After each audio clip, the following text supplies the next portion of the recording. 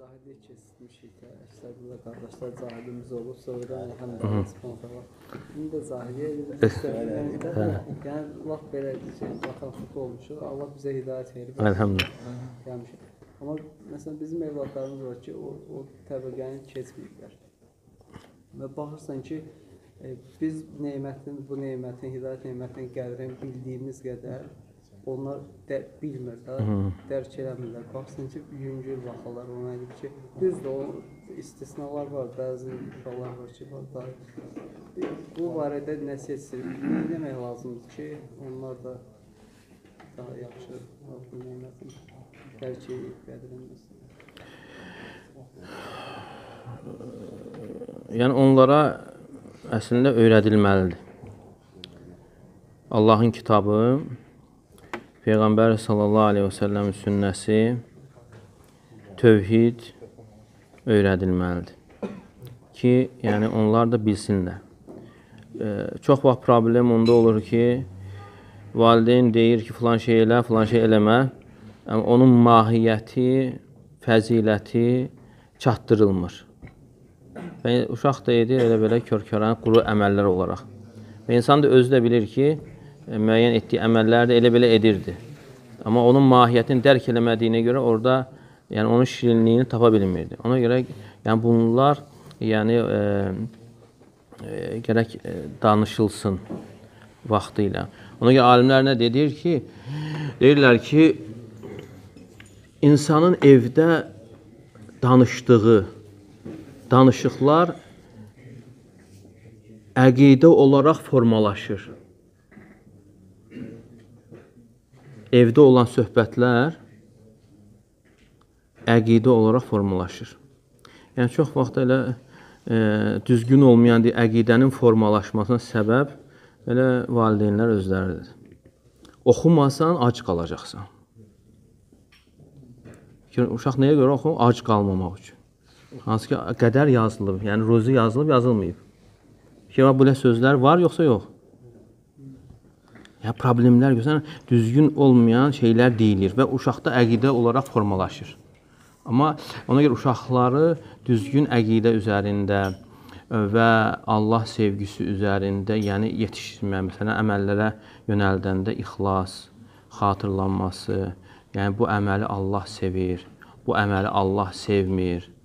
Hə, və yaxud məsələn, ə, yəni deməsinlər ki, filan kəsin oğlu belə çıxdı, oxumur. Yəni bax bu məsələ çox şeylər var da. Yəni problem, yəni birinci insanın özünə qayıdır ki, özü düzgün bilmir məsələləri və yanaşması da düzgün olmur. Ona görə ə, və düzgün olmayan əqidə formalaşır. Ona görə ə, öyrədilməlidir. Öyrədilərsə, bəzən insan elə bilir ki, e, o uşağı hopmur da, hopur. Ona görə düzgün. Ona görə Peyğəmbər sallallahu əleyhi və səlləm o hədis məşhur hədis o ikinci dərsdə götürüldü. İbn Abbas radiyallahu anhumaya deyir ki, "İhfazillah yahfazka." Allahı qoru. Al 10 yaşı, 9 və ya 10 yaşı var idi. Deyir, Allahı qoru, Allah səni qorusun. Və uşağa deyilir, Allahı qoru. İhfazillah teciduhu tucah. Allahı qoru, Allahı qarşında taparsan. Çünki onun qəlbi safdır və onun qəlbində Allah sevgisini və Allaha yəni təzimi, yəni e, yerləşdirməsi. Allaha təzimi yerləşdirməsi. Yəni bu cür, yəni öyrətmək, həmçinin e, yəni əməllərə yönəldəndə peyğəmbər sallallahu alayhi və səlləm belə buyurur, e, belə deyir. Yəni bir var məsələn insan deməsi ki, belə elə, özün özünün sözü kimi, e, bir də var onu Allah Rasulü sallallahu əleyhi və səlləm sözü kimi. Deyir burada İbn Hüseyn rahmeullah gətirir ki, nə olur burada? Fayda olur da. Buradakı fayda nədir? E, yəni bərəkət olur burada. Yəni insanın sözündə bərəkət yoxdur. Burada həm ə, uşaq peyğəmbər səlləmi sevəcək və həmçinin onu nümunə götürəcək. Deyəndə ki, bunu Allah Rasulü səlləm belə buyurub, belə edib, uşaqda sevgi yaranır və onu nümunə götürməyə çalışır. Hə, amma bir də var ki, insanın özünün e, sözü kimi de, de, dediyi zaman onda görürsən ki, o bərəkət də olmur. Yəni bunlar tədricən, yəni uşaqda yəni yaranan e, əqidədir. Yəni insan elə bilir ki, yox heç nə olmur. Bu deyilən sözlər Məsələn, bəzən uşaqları qoy, yəni çox şeylər ola bilər. İnsan özü də e, yəni e, belə yoxlaya bilər, analiz eləyə bilər bu söz düzgün, düzgün deyil.